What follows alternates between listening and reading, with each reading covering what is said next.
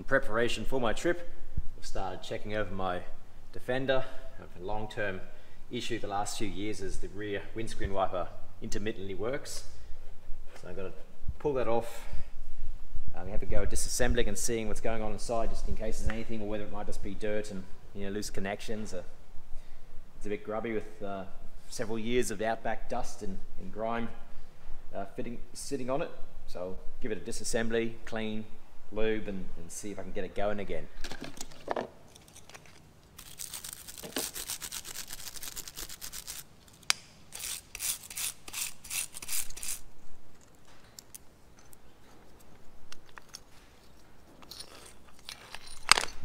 It's really handy to buy one of these kits with uh, all the different types of security fittings and such. This one actually has some weird looking um, six pointed screws, so I've got that fortunately. There's actually some moisture right in the bottom and starting to rust out uh, the bottom bearing surface. So I don't know how I'm going to fix that because that's looks like it's pressed in at the bottom. Uh, the grease is still reasonably good, surprisingly. Uh, it's still quite moist and usable. And then the bushes here are starting to get a little bit worn, so I don't know how much life I've got left in those. But um, put it all, clean it up, put it back together, and see how that works out. Try using some inox down there to displace the water. See if that helps. Just a warning if you do try this, there's a tiny round disc right at the bottom, which is like a, a bearing surface. Uh, that fell out and it took took the last 15 minutes to try and get it back in. That's where that ball bearing rolls on. Um, but that's back in now, so I'll put this back in and yeah, try the next piece and see what comes up.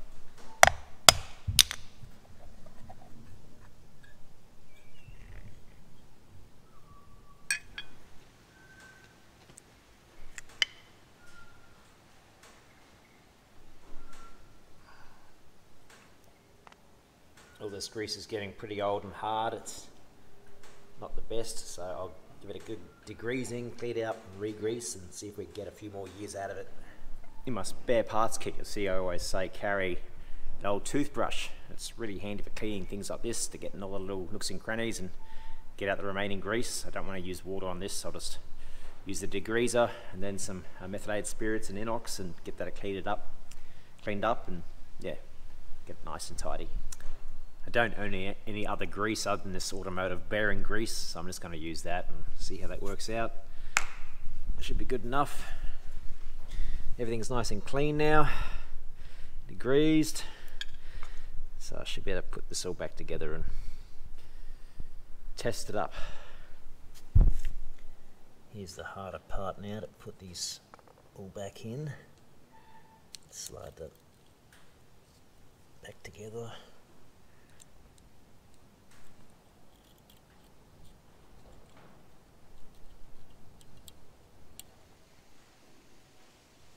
I resorted to using some sewing thread to tie them back on each side. it's just impossible otherwise to get them to stay there. It's probably an easy way to do it. I'm not sure what it is, but this gets me through at least.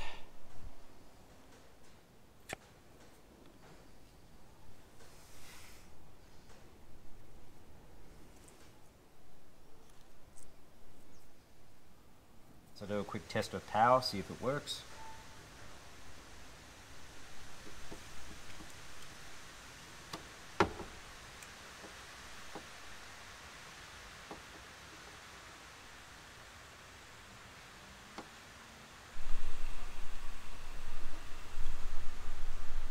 It's working, so it seems to be good. That's one job down that's taken a few years to get to. Just didn't have the area really to pull things apart and get the work done, but we're working again now. One of the other things that's been giving me trouble is the rear wheel carrier. It kept jamming up the rear door. In the end, I just had to pull it off. I just didn't have time to, to fix it. So that's the next job to get done. Another couple of hours has passed and I got the rear tyre carrier finally back on after probably one and a half years of carrying the tyre around inside my, my wagon. Uh, took a bit of work just to tidy up the bolts and uh, move it around a bit to try and get it lined up. This bolt here was particularly hard to try and get to tighten up again. It probably took 15 minutes of fiddling to tighten it up, but for now it's yeah working perfectly fine again. The reason I took it off was I try and open it and the door would jam about here, so there's something out of alignment that wouldn't let it open all the way. Uh, but that's finally fixed. It's another one down. Next thing is to fix the rear water jet for the uh, windscreen wipers. That hasn't worked since I got my conversion done.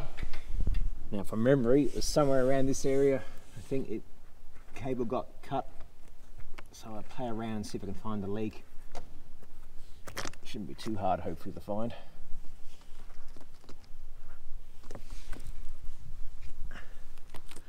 I know pretty quick start wetting everything. No success yet, so I've disconnected the hose to see if I can get some water pump up and I'm not getting anything at all. Um, and I tried listening to the rear pump compared to the windscreen wiper pump and there's very big change in sound so I'm thinking it's not pumping any water through from the actual reservoir so I might try first checking the pump itself and see if there's a blockage inside that and uh, see if that fixes it. Down here might be the culprit. One of these just might be blocked up. I'll test them both, see what works out. So in typical Land Rover fashion, while trying to take off this pipe, I ended up breaking off the little attachment, the spout that this thing slides onto. Uh, so that's going to need a whole new motor now and trying to blow through this pipe. I've disconnected up the top. It's completely blocked somewhere. I can't get any water through it. I've already disconnected the one-way valve to see if that helps. Uh, that hasn't done anything, so I'll have to keep tracking this up. Maybe replace the motor and some of this hose. See if that fixes it. I'm working my way through the spare parts kit now. Just trying to make sense of what I've got here. It's kind of hard to remember some of these things. Uh, I found these four bolts. I've no idea why I have them in my kit. they may have been from my original winch from 2015 I had. They may have been spares. I'm just not sure now. Interesting to see other things I thought about, like, you know, bits of tube uh, for um, doing repairs on fuel lines if I need to splice two together. Got the tube I can fit inside and crimp on. Um, yeah, another bits and pieces.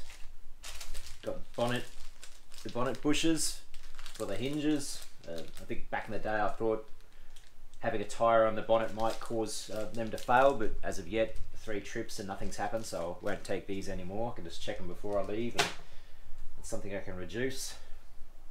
And just going through what else here I need to, double checking the spare parts, all the different gas gaskets and washers for my bearing kits, making sure they're still there. And of course going through the spare nuts, washers, bolts, make sure I've got the right types for the car because I did use I use a few on the last trip in uh, 20, 2019 so I'll go back through those and recheck and then just replace some of the old stuff and I saw some of these tubes of various repair equip repair goo and stuff are probably oh, nearly nine, ten years old now. So, geez, it's, it's had these on my first kit. That will need some checking. Got my spare tire repair kit as well. There's various bits and pieces in here. Some of these might be a bit off now, but you know, these goos and stuff are no longer any good. They've expired quite a few years back. But as of yet, I've never had to, you know, do any tire repairs. I've just had, you know, very good luck, I think. Um, 22 months of travel and not a single flat tire, so I'm pretty happy with the result. And for now, I guess I'll still keep keep it in the kit because that you know one day I don't have it. It's probably the day I'll destroy a couple of tires and I'll need to do some emergency repairs. At least though I can keep mobile. That's what's next on the list. Going through the electrical repair kit. So I've got my various wires here, crimping tools, different types of tape for different purposes, self-amalgamating tape, which is extremely useful. And of course checking through I have enough of the right fuses, other relays, just spare parts, all the bulbs have still got left on the car. So I've all got those pretty good. Keeping a note of what needs to be replaced. There's, yeah, there's always some sort of 12 volt gremlin that comes along, enough corrugations, tends to rattle something loose or, or fry something. So I'll get that going as well. Of course, having all the parts and pieces is good, but there's that one extra thing you need to have is that imagination of how to fix something. So I've got this t-shirt here. WWMD. What would MacGyver do? So it's pretty fitting for when I'm traveling out bush. Got enough bits and pieces that I should be able to MacGyver some sort of fix and that usually that's what's happened so far. So yeah, just keeping that right mindset and just thinking outside the box and you can generally keep an old car going. Uh, as long as it's as long as it's something not super major, but hopefully you would have checked those over before departing or you change your plans and get to a town as soon as you can. These bolts apparently came from the fuel lift pump kit. So that's why they're in here. Spare replacements. Here's one of those useful little tools that I added to my kit some time back and I think it did get a bit of use just for helping to loosen up really tight bolts. Works with a standard butane gas canister for my stove. Fits on top.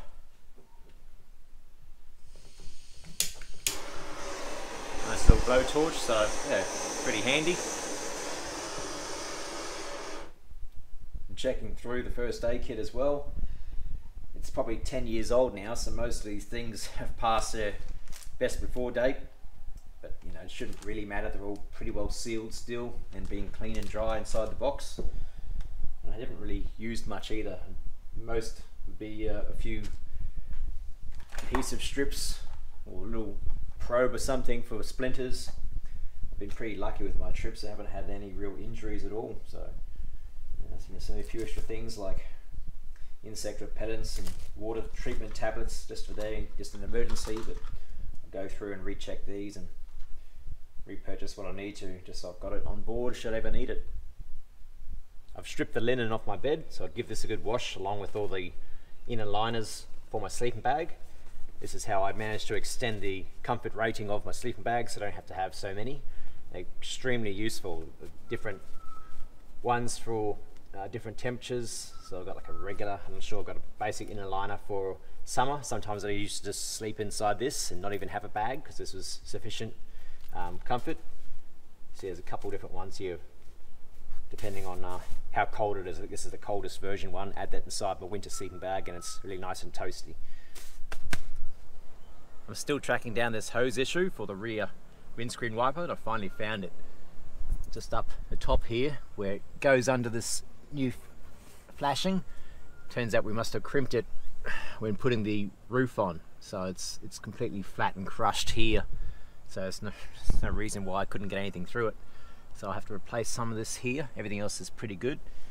Purchased some new silicon hose. Uh, they didn't have any rubber stuff in stock, so I'll try and put this in. It's meant to be a bit better quality than the standard rubber.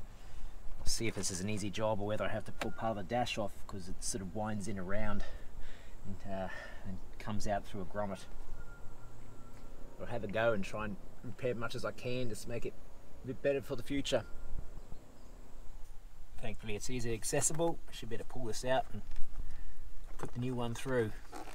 Easy access that goes up through here, folds out up along the A pillar and then up at the top.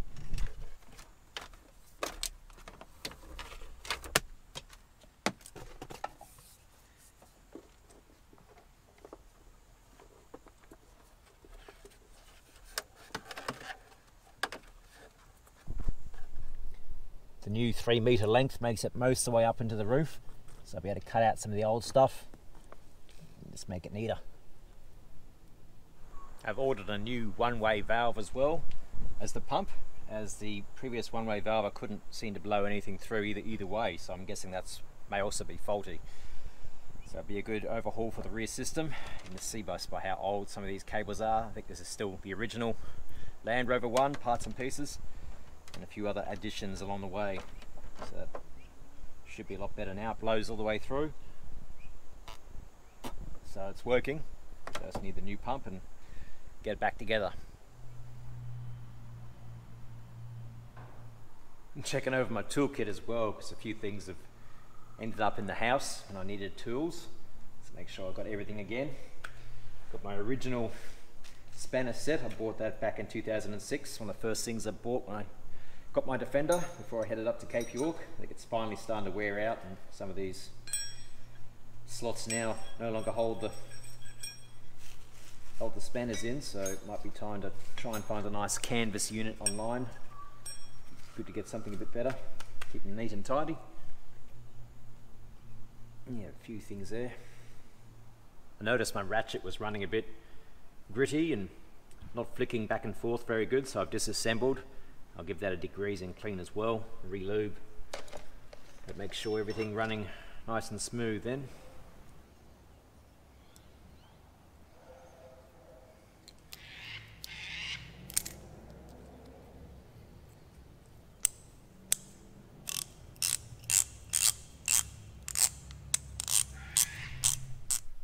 A new baker's tin uh, the old one started losing all its its non-slip uh, coating. So if you're looking for one for a travel buddy oven, I found one that's called Baker's Secret. The, uh, it's a, loaf pan. You can buy it from Spotlight. It fits in perfect size. So pretty much this lip fits in here. And he got about 14 millimeters extra space in the door. So if you could find one a little bit bigger, you've only got 14 millimeters of space left. But that's, yeah, just the right size for that oven. I bought some new paracord, which is really useful as a clothesline as well as just general cordage.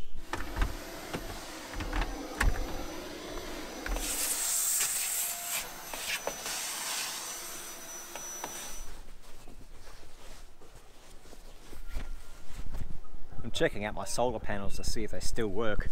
I've had, had some issues with them over the last few years. Think in 2020, 2021, the top layer of film peeled off. It had failed. Um, and then since then, I've had looks like a few of the cells have burnt out. So they've actually been pretty big disappointment for the money amount of money I spent on these panels. I thought they were a really top quality notch um, brand, but apparently not. So at the moment, they're only getting about 13.3 volts in the full sun, and there's nothing much going on with the DC to DC charger. It's not accepting any charge from them. The, the lithium batteries quite flat. I accidentally ran it flat um, a few weeks ago by leaving an LED light on and I was working on the car and that drained it down. So I'll have a play with these and see if I can get any, any power coming off them. Otherwise that's a, a pretty major um, yeah, setback for me on the solar panel. I really need these to keep the fridge running. I'll see what I can come up with. I'm going to try and desolder these two panels. They're currently in parallel with the one cable going into the DC to DC charger. I'm hoping that maybe the one panel with the fault with the burnt out cell might be causing some sort of issue for both of them. So I'll check each of them individually and see if they're working properly. If not, they might both be uh, past their prime. I ended up using this blowtorch, it was taking too long. My soldering iron wasn't quite powerful enough to heat it up, but this got it done pretty quick. So I've checked again, and yeah, this driver's side panel is completely dead and this one's 13.1 volts. So that's a shame. Looks like I might have to figure out how to remove them and see if I can find some cheap panels in the meantime. eBay probably has some really cheap panels. I can just throw on top of these. If I can't get these off easy enough they're all kind of stuck down with double-sided tape. Probably pretty well glued down.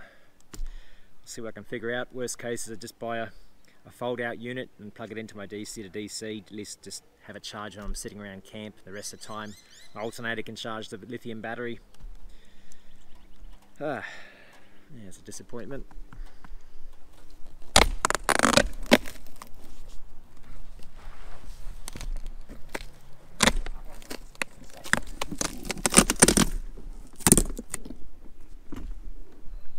Thankfully there's not too much damage done to these polycarbonate strips. They seem to be mostly be on okay. There's a couple that did sort of start to fracture and break, but the rest of them are pretty well still mounted in place, so I can probably reuse these with another panel.